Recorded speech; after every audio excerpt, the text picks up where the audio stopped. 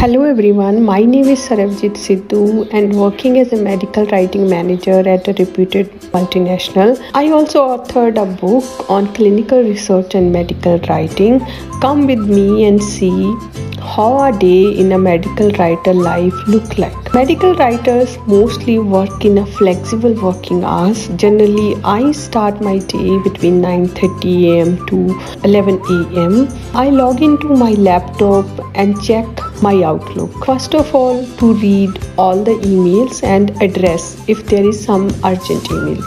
Based on the emails and overall task assignments, I prepare my to do list and set the priorities for that day. I also look into my calendar to understand how many meetings I have on the list.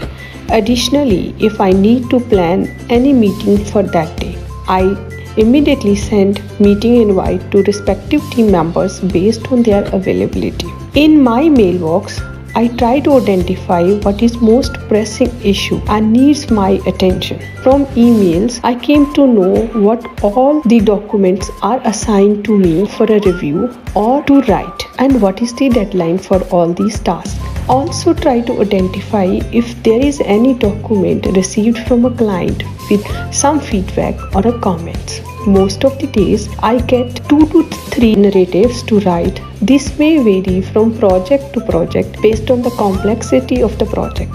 Based on the assignments, first I check the source document. If some source document is missing, I need to write an email. For example, CIOMS form or a patient listing is source document for a narrative writing. Once drafting is complete, I share narratives with quality specialist for a quality check and I have to address couple of comments received from a client. Any comment or feedback received from a client is addressed on a priority.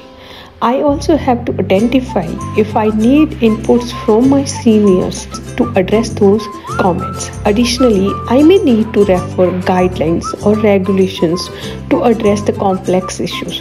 Most of the project specific checklists guidelines will kept open on my system throughout the day for a quick reference. I also maintain a tracker to track the time, how much time I have spent on each activity. I keep on looking onto my to-do list to check if there is any meeting and what I need to prepare for the same. Technical things are discussed in these meetings, for instances, team hurdles or key challenges and solutions for that project. In medical writing domain, writers work on more than one project so my second project is to review the scientific slides which I review against a review article. My job is to make sure that what information is presented in the slide is 100% accurate as per journal article.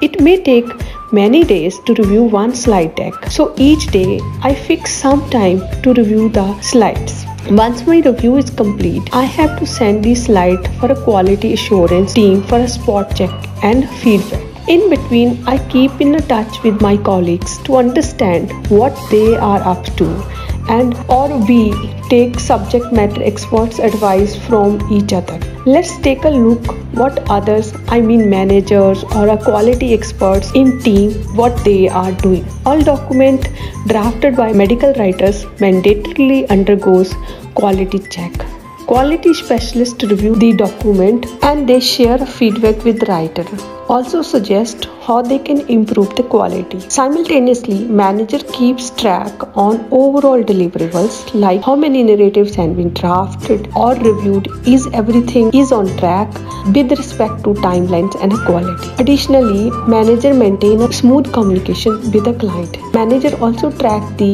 key performance indicators. Mostly these are maintained above 95%. So they are indicating your quality. In case KPI is a red or orange, I mean less than 95%, manager take the appropriate action. This action can be retraining or additional layer of a quality check. At the end of the day, I recheck my Outlook to see if there is any urgent email. I try to address it before I close my day. If you want to pursue highly rewarding career in a medical writing, please build your knowledge on regulatory documents that is protocol, patient safety narratives, informed consent form, clinical study report, and understanding of ICH and regulatory guidelines. Along with this, a competent level of English grammar is a good skill to have. If you have a flair to write and a life sciences or pharmacy degree, you can pursue a successful career as a medical writer. Interested to know more, you can also refer my book, Clinical Research and Medical Writing Career Guide. Book covers the basics of clinical research and key medical writing documents along with how to prepare for an interview. Link is given in a description. This is how a day in my life look like. Please feel free to ask questions in comments. Thank you so much.